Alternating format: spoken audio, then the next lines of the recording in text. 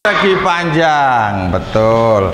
Akan tetapi, ayo kita uh, sekarang membahas tentang persegi panjang dan nantinya adalah juga barengi dengan uh, bangun persegi.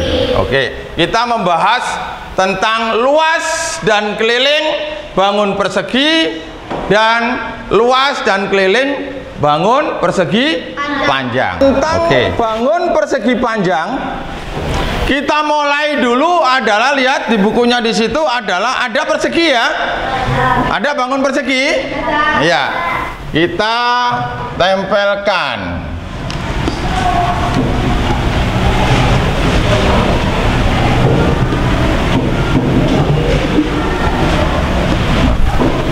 Persegi dulu.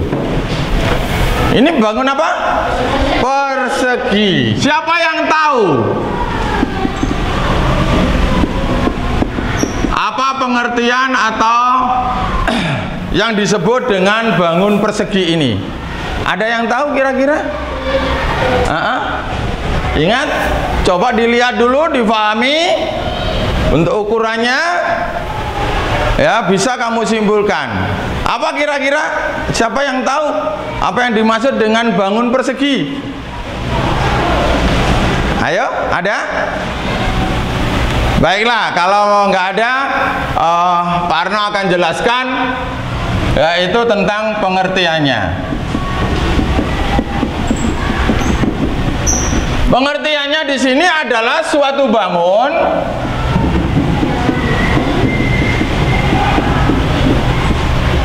suatu bangun datar di mana panjang keempat sisinya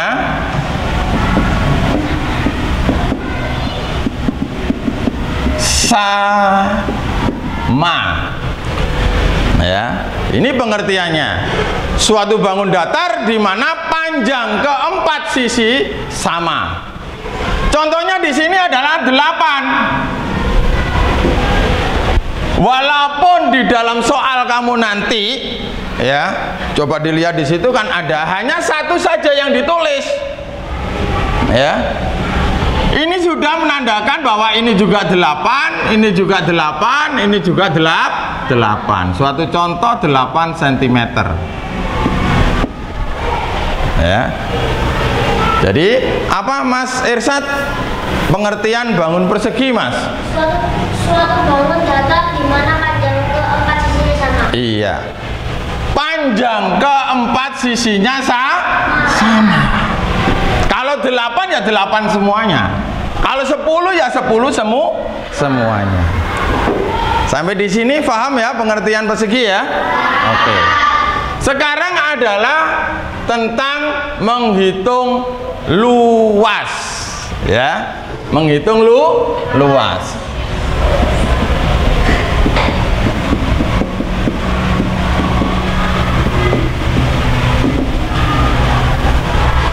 ada yang tahu kira-kira rumus untuk bangun persegi ada yang tahu angkat tangan yang tahu silakan angkat tangan silakan jangan ragu-ragu Mbak Nabila mungkin rumus bangun persegi kira-kira L sama dengan L itu luas ya, L besar ya. Nah.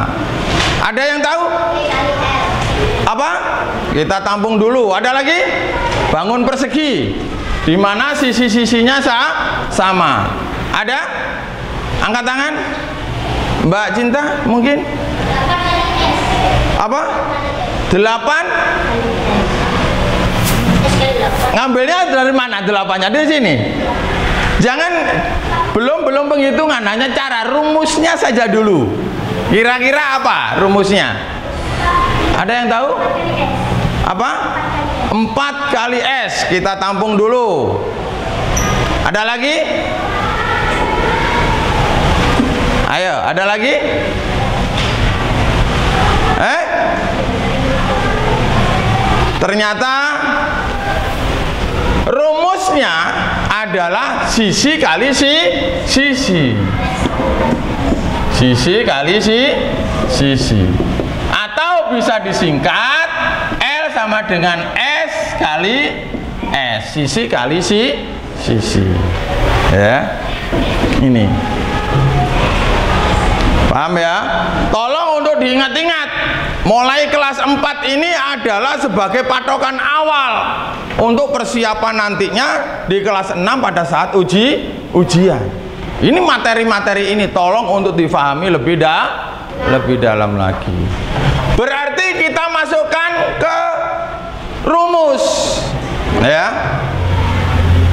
Berarti di sini adalah sisinya. Panjang sisinya berapa? Delap, 8 cm kali berapa? Kali berapa? Delap, 8 sisi kali sisi. Panjang sisinya. Sama toh? Paham ya? Berapa ini? 8 kali 8 64 ya betul 64 apa? Sentimeter? Per? Persegi. Ya. itu adalah cara untuk menghitung bangun perse persegi. Kira-kira contoh di sekitar kita benda-benda uh, yang ada di kelas saja di sini. Mana kira-kira uh, yang menyerupai bangun persegi yang ukurannya sama? Coba kamu cari di sini yang sekitarnya kira-kira. Apa iya ubin ya. Ubin ini adalah ukurannya sama ya 20 sama 20 ya. Ini contohnya ubin. Ada lagi kira-kira?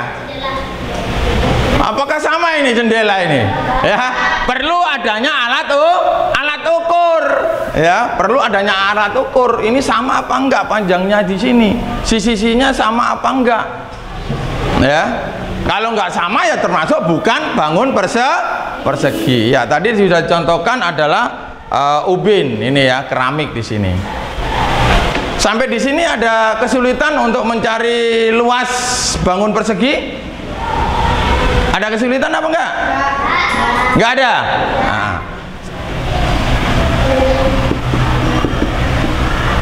Ya. Menghitung keliling. Jadi rumusnya, ada yang tahu rumus untuk mencari keliling bangun persegi? Ada yang tahu? Uh-huh. 4 kali S. Kita tampung dulu. Ada lagi? Ayo, Mas Irfan barangkali sama juga. Ada lagi yang beda? Sama juga. Oh ya. Jadi di tadi dikatakan oleh Mbak Nabila, oleh Mas Irfan, oleh Mas Irsat, ya, atau yang lain di situ adalah empat kali kali S. S ini apa S itu? Sisi, nah, ya. Atau bisa memakai rumus keliling itu disingkat ya biasanya soal itu tidak ditulis keliling tapi disingkat saja K ya. K berarti keliling ya berarti di sini adalah sisi ditambah sisi ditambah sisi ditambah si sisi. Karena ada em, empat di sini. Satu dua tiga em, empat. Ya. Jangan salah. Ya. Jangan salah sekali. Tidak kali tapi tam tambah. Ditambah. Kalau menghitung keliling itu ditambah. Ya delapan sisi yang kanan.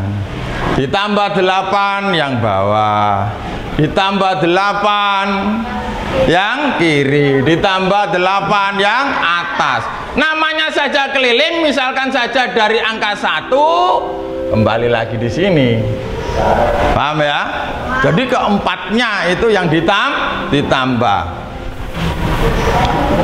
empat kali berapa? Sisinya panjangnya berapa? Delap, 8 cm hasilnya berapa? 32 ya betul. Ini pakai sentimeter saja apa sentimeter persegi? Sentimeter meter saja. Ah, betul. Kita masukkan tadi. Bahwa keliling adalah sisi ditambah sisi ditambah sisi ditambah si sisi. Kita masukkan apakah betul nantinya dengan memakai rumus yang berbeda ini hasilnya sah sama? Berapa sini? Angka berapa sisinya? 8 ditambah? 8 ditambah? 8 ditambah? 8 ya 8 ditambah 8 berapa? 16 ditambah 8 24 ditambah 8 32 iya betul. Ternyata sama. Baik cara yang pertama maupun cara yang kedua. Terserah kamu nanti mana yang lebih cepat mana yang kamu paham pahami sampai di sini ada kesulitan untuk menghitung keliling enggak ya betul silakan apa yang kalian bawa yang sudah saya sampaikan adalah alat-alatnya tolong nantinya sudah bawa alat-alatnya? Sudah ya? Silakan.